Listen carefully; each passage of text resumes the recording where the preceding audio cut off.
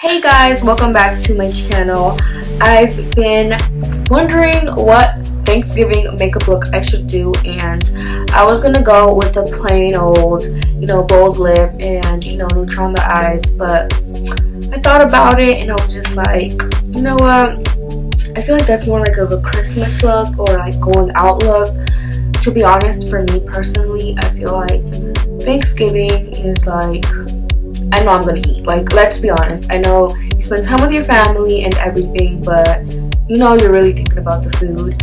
So, you know, I was just like, mm, if I do a bold lip, I'm gonna have to keep retouching because knowing myself, I'm gonna be eating a lot. And I was just like, why not? Why don't I just do like bold eyes and like a more neutral lip? Because that way, when I'm eating, you know, I can just retouch like you know, I don't gotta do the most because it's neutral. I don't even have to retouch my lips like that because I'm gonna be eating a lot. And I wanted to make it more about the eyes. I wanted to have more bold eyes because, you know, you're just gonna conversate with people and they're just gonna be looking into your eyes and they're just gonna be like, while you're talking to them because your eyes are to be bold. And yeah, I just want to make it a little bit different. I mean, you could go with a bold lip if you want. Um, but yeah gonna be better and you guys to eat with me because yeah I don't want lipstick all over my face because I rub like I get down with my food. So I wanted to do um, something different. I don't want to do gold and cranberry because you know brown I just wanted to do something a little bit different you know spice it up a little bit with a little bit of color. So yeah that's what I did. Um, I kept my face very you know neutral neutral colors just that bold um, pop of color on your eyes and some lashes and a little bit of black just to make it a little dark because you know it gets dark fast now. So well where I live it gets dark pretty fast if you like in the east coast if you're watching me from somewhere else. Hey! But yeah over here it gets dark like by 4:30 or 5 so yeah you could create your dark bold eye look super early and okay so if you want to see how I created this look then you can keep on watching so here I'm just taking my Too Faced eyeshadow insurance and I'm to put that on my eyes just so our shadow can stay put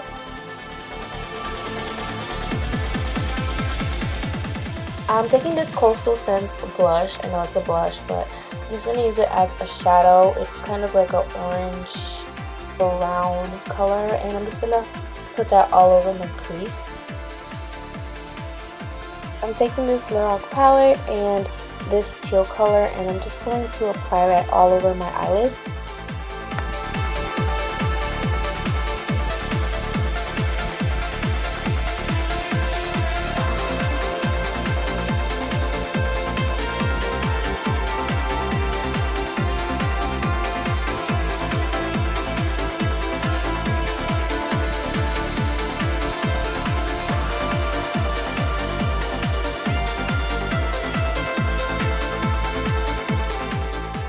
Going back with my brush with no product on it. I'm just going to blend any harsh lines.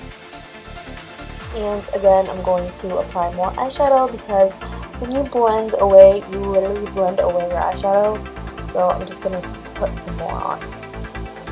Now I'm taking this matte black shadow and I'm just going to put that on my outer crease.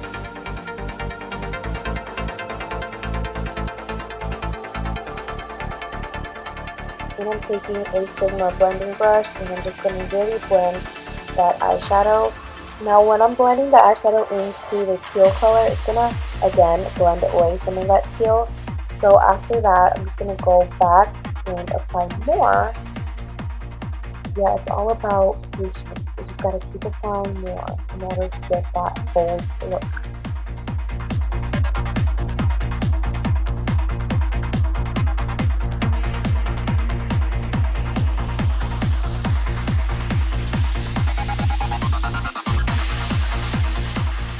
So here I'm just applying some concealer underneath my eyebrows to clean it up a little bit. And I'm just fixing my brows because I think I messed it up. So yeah, I'm using my Makeup Forever Aqua Brow today. And here I'm applying my favorite Red Cherry Lashes, number 415 and I'm using my Duo eyelash glue and some tweezers.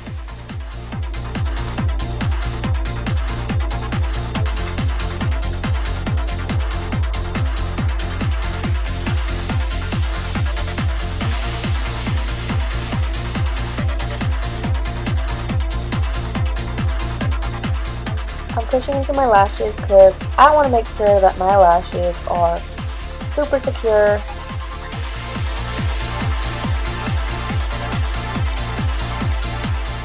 Now we always make the funniest faces when we're applying makeup and you don't even realize it because it just comes natural.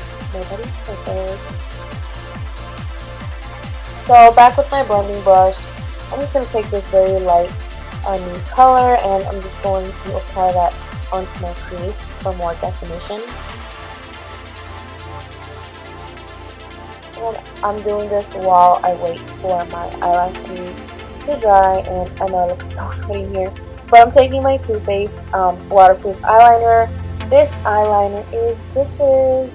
It glides on so smooth. It feels like a gel liner in a pencil. And right here I'm just taking that teal color with a Sigma uh, pencil brush and I'm just placing that right underneath my lower lashes.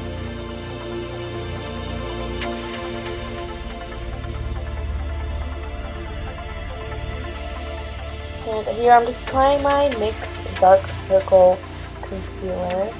I just want to brighten up underneath my eyes since this is a dark eyeshadow look for me whenever I apply eye, I mean dark eyeshadow or eyeliner on the bottom, I feel like my bags just stick out even more.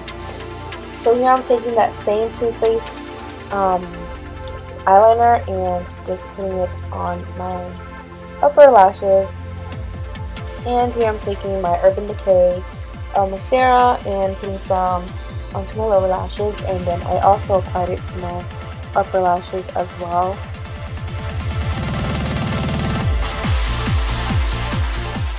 Taking my Laura Mercier uh, pressed powder just to set my concealer.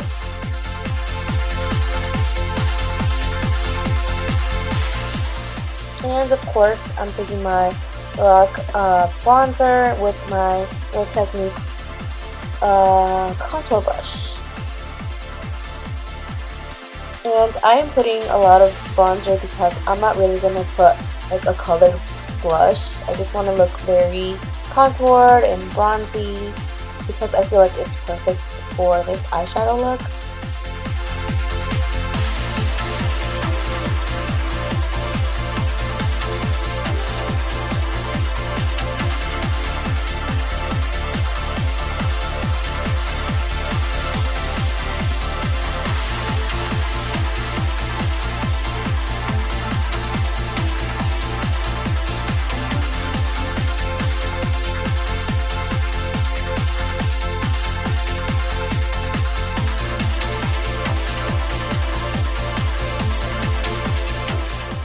So now I'm taking that blush and I'm going to apply it to my cheeks with my Sigma Duo Fiber brush in F50.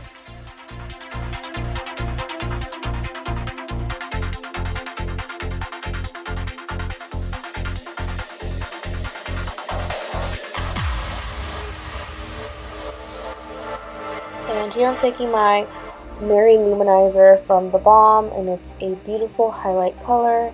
And I'm taking this small fan brush from BH Cosmetics just to apply. That highlight since our blush is matte. I just wanted a little bit of glow so I'm going to apply a highlight.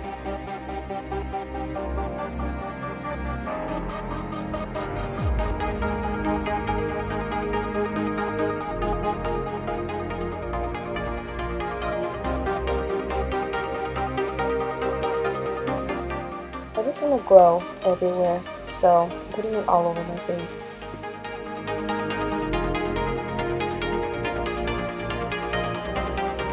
And now here I'm taking my L'Oreal uh, Toasted Almond Lipstick, and I feel like it's perfect with this look.